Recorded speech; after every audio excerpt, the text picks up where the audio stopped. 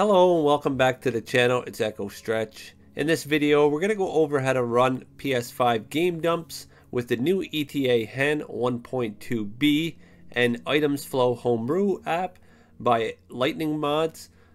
This will require 4.03, 4.50 or 4.51 right now, but it may get ported over to the other firmwares later on. Okay, so if we jump over to the computer, there is a items flow compatibility game list. I will leave a link in the description. Go ahead and check it out. It does display the playable games as well as other playable games that may require patches in order for the full functionality of the game to work. We do have a list of the games with the failed e-boots. Um, this may require a different decryptor or maybe the current decryptor might just need a little patch in order to decrypt these e-boots.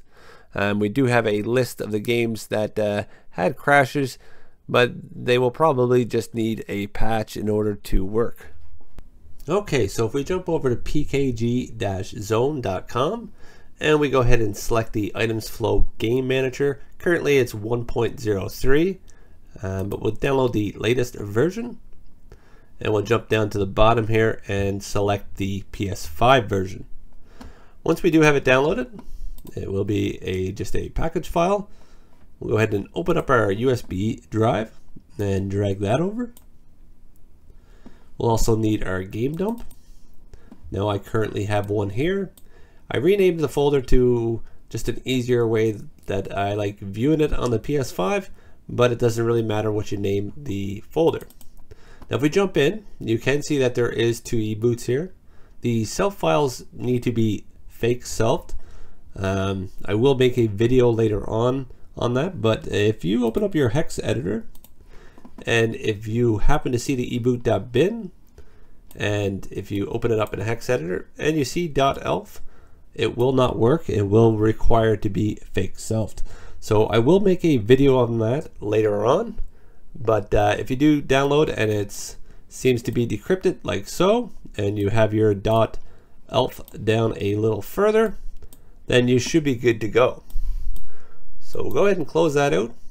And we're just going to go ahead and drag that folder over to our USB. And we'll give it a few moments here to finish. Okay, so we're just about done here. Five seconds to go. Once it is done, we can go ahead and jump over to the PS5. Okay, so now that we're over to the PS5, we'll go ahead and open up our internet browser. We'll go to the Echo Stretch 7 and 1 site. And we'll jump down to IdleSoft host. Go ahead and hit the jailbreak. Give it a few moments here. Shouldn't take very long. There we go, triggering UAF. Okay, and we are in. From here, we'll go up to the ETA hen. Go ahead and launch it. Okay, and everything will load. Once it's done loading, we'll go ahead and hit our PlayStation button. Jump out of there. And we'll go up to our settings. Scroll down to our debug settings. Game hit OK on that and package installer. Now I do have my USB already plugged in, so we'll go ahead and install Itemzflow. And then we'll go ahead and back out of there and we should see it on our main menu. So go ahead and select it. Okay, the app has been granted jailbreak. If you wish to support LightningMods, there is his Ko-Fi site. So go ahead and hit OK. And the one we're looking for is the PS5 app.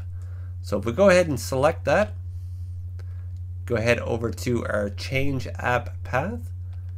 We'll go ahead and select it. And we're going to come down to our mount.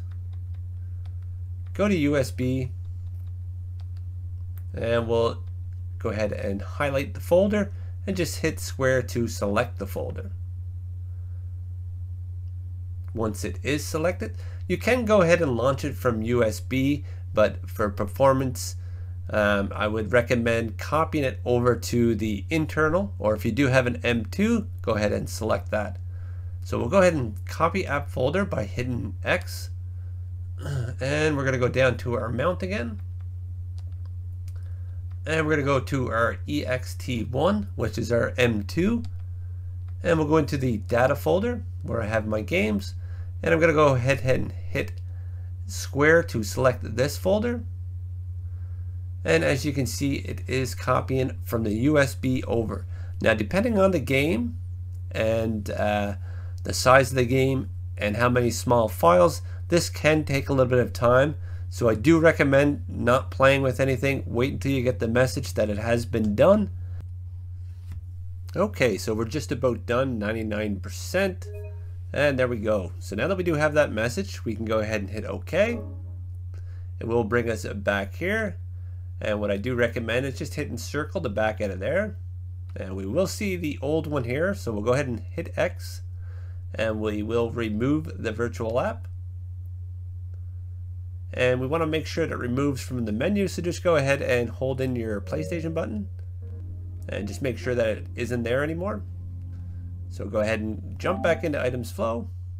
From here, you can go ahead and unplug your USB. And then we'll go ahead and jump back into the PS5 app. Go to change app path. Jump down to our mount. ext1 and data and we'll go down and look for Life is Strange. From there, just go ahead and hit square to select the folder. And we'll go ahead and hit launch.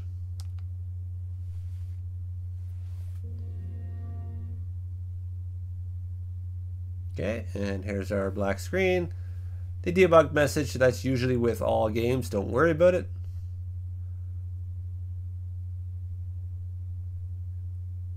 And there we go. So we do have a network issue, but that is fine. We'll go ahead and hit OK on it. And as you can see, we do have PS5 games planned. So we'll go ahead and jump into the menu here just to show you that it does come up. In the meantime, go ahead and hit that subscribe button. If you did like the video, go ahead and hit that like button. Really helps out the channel. And there you go. Life is Strange, True Colors.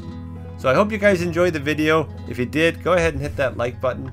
And if you're not subscribed already, go ahead and hit that subscribe button. And I will see you guys in the next video. Thanks for watching.